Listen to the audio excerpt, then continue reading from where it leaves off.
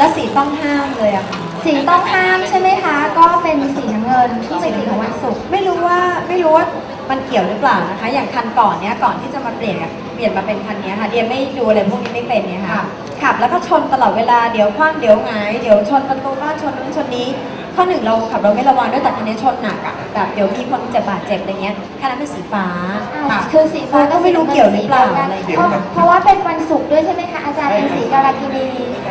คำว่าการากินีนี่หมายถึงอะไรคะอาจารย์ เออกรณีเนี่ยมาจากคำว่าเอ่อมาจากมุมมองของคนสมัยก่อนที่เปรียบเทียบกับสิ่งที่ไม่ดีกับเจ้าแม่กาลี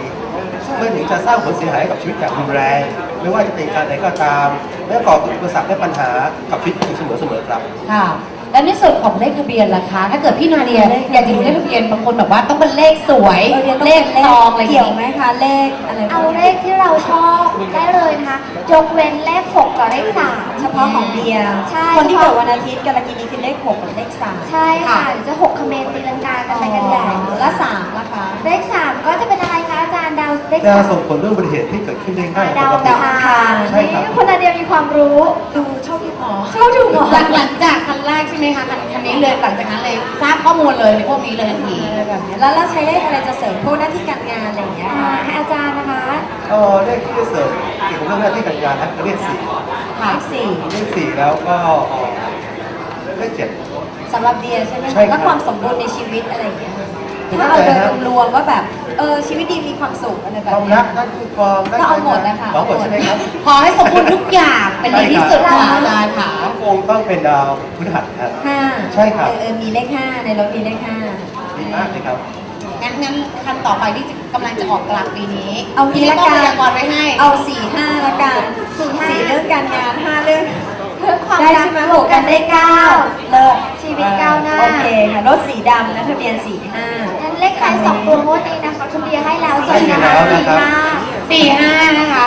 เป็นเลขประจำกันไปเลยทีเดียวนะคะ เอาอันนี้ก็แล้วกันนค่ะอกนอกนอกจากเรื่องของสีเลขทะเบียนแล้วเนี่ยพี่นาเดียจะต้องระวังในส่วนของเรื่องไหนหรือว่าต้องดูในส่วนของเรื่องไหนเพิ่มเติมอีก็น่าจะหรือเป็นการขับรถนะคะขับให้มันระวัง อันนั้นมันต้องอยู่แล้วพี่นาเดียอันนี้ทุกคนเลยนะ ต้องขับให้ระวังอยู่แล้ว